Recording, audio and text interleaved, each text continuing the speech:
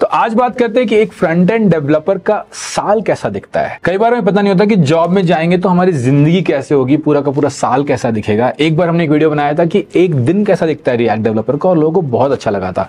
सोचा कि अब आपको बताया कि पूरा का पूरा साल कैसा दिखता है और ज़िंदगी आपकी किस साइकिल में चाहती है? तो आइए देखें। साल का सबसे पहला महीना है जनवरी। जनवरी जो है, उस समय पूरा का पूरा ऑर्ग यानी ऑर्ग हम कहते हैं ऑर्गेनाइजेशन को, यानी कि कंपनी को, बड़ी कंपनी जैसे माइक्रोसॉफ्ट में था तो बड़ी कंपनी के अंदर छोटे, छोटी छोटी कंपनीज़ रहती थी। उन छोटी छोटी कंपनीज़ जैसे माइक्रोसॉफ्ट टीम्स है आउटलुक है तो उनको हम एक ऑर्ग बोलते थे। तो ऑर्ग जो होता है, उसके लिए टाइम होता है ये गोल सेटिंग का।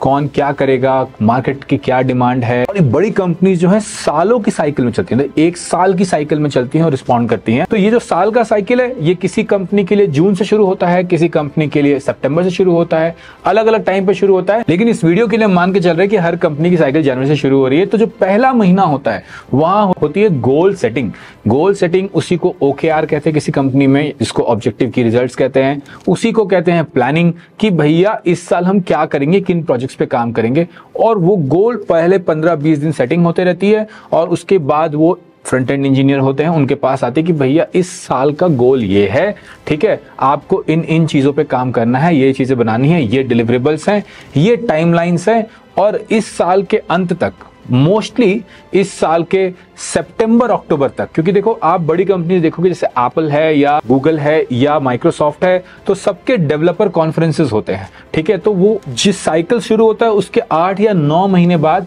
डेवलपर कॉन्फ्रेंस होता है, जहाँ वो अपने नए फीचर्स अनाउंस करते हैं।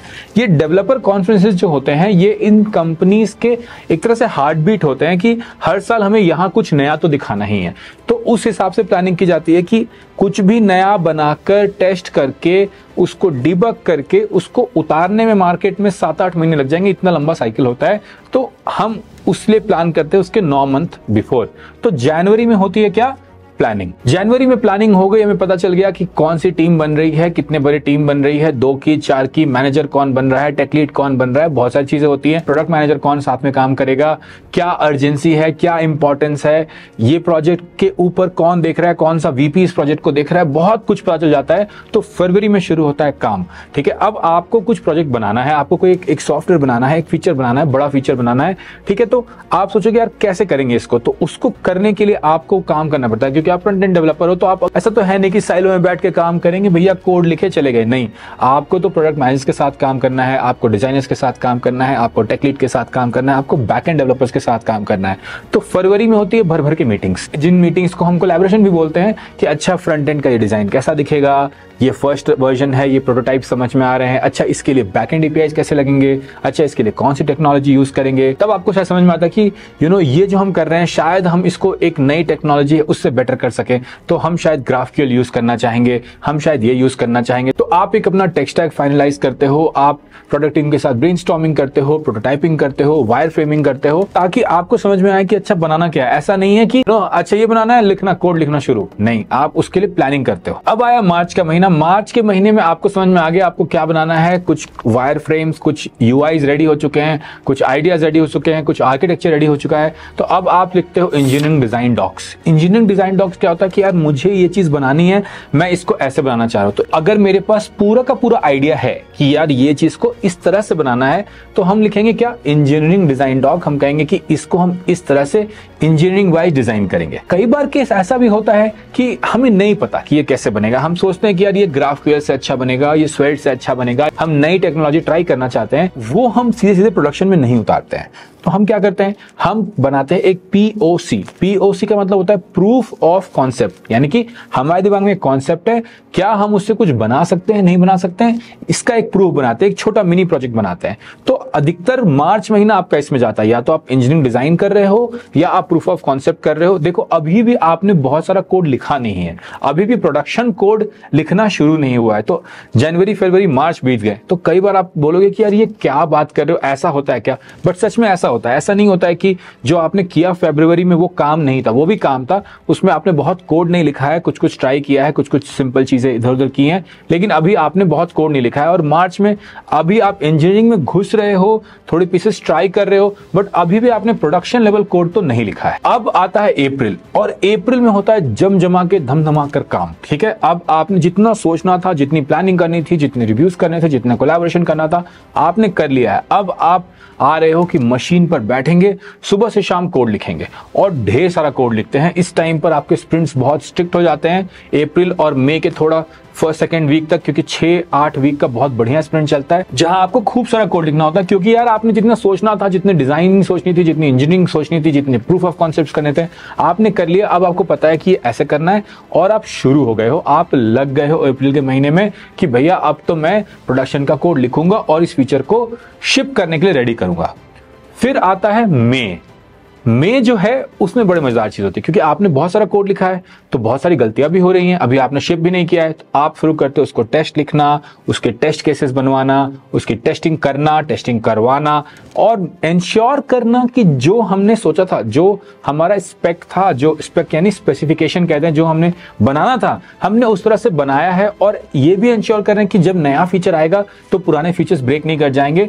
थ्रू टेस्टिंग तो हम सब कुछ कर रहे हैं, यानी कि अब हम मे के टाइम पर आ गए हैं कि हम क्वालिटी को बेटर कर रहे हैं बिफोर शिपिंग इट आउट देखो, मज़ा आ रहा है तो ध्यान रखो कि ऐसे और वीडियोस आने वाले हैं। तो अगर तुम सब्सक्राइब बटन नहीं दबाओगे तो पता कैसे चलेगा कि और वीडियोस आएँगे? तो सब्सक्राइब करते जाना। जून का महीना आता है, अब आपका क्या है ना, जो मेजर कोडिंग का पार्ट था, वो मार्च के लास्ट से मे के लास्ट तक कोडिंग टेस्टिंग सेटअप वगैरह हो चुका है।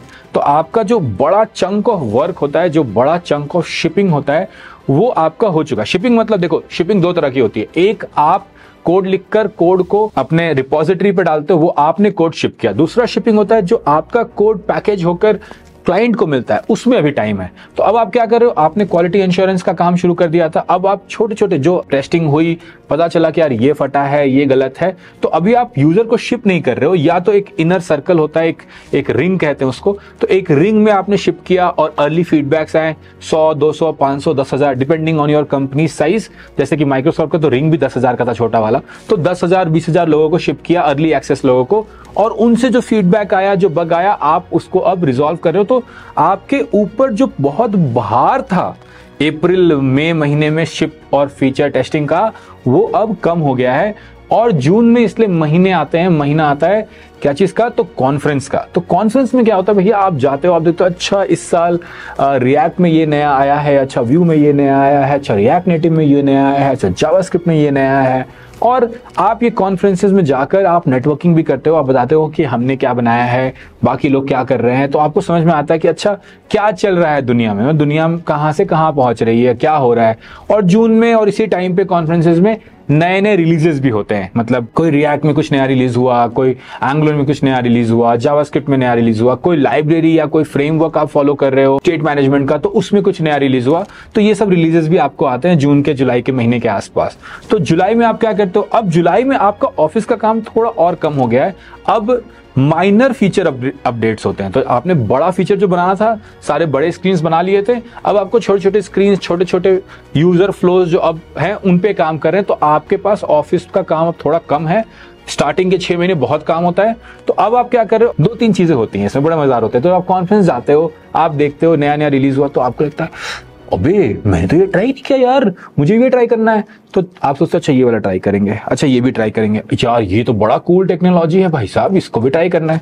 ये भी ट्राई करेंगे। और दूसरी चीज़ क्या होती है, आप देखते हो, आपके उम्र के लोग, आपके साथ के लोग बहुत बढ़िया बढ़िया टॉक दे रहे हैं, काफ़ी अच्छा अपना पर्सनल ब्रांडिंग कर रहे हैं। तो आपको लगता है, यार, मुझे भी करना है। अगले साल मैं भी इसी मंच पर खड़ा होकर टॉक दूँगा या खड़ी होकर टॉक दूँगी, है ना? तो उसमें जो आपको मोटिवेशन आता है, उसको भी आप जुलाई, अगस्त में बड़ा यूज़ करते हो कि एक तो मैं नई नई चीज़ें सीखूँगा, सीखूँगी और दूसरा मैं अपने टॉक के लिए प्रिपेयर करूँगी, अपने लोकल मीटअप्स में टॉक दूँगी ताकि अगले साल मैं कॉन्फ्रेंस में टॉक देने के लिए रेडी हो जाऊँ। तो जुलाई, अगस्त के महीने में ये चलता है क्योंकि वर्क वाइज आपको प्रेशर थोड़ा कम हो चुका होता है तो आप अपने पर्सनल डेवलपमेंट में पर्सनल लर्निंग में पर्सनल ब्रांड बिल्डिंग पे थोड़ा काम करते हो। तो हम बात करते कि अगस्त में आप अपना एक साइड हसल बिल्ड करने का ट्राई करते हो? क्योंकि जब काम कम होता है ना, आपको समय लगता है क्या क्या करे क्या करे?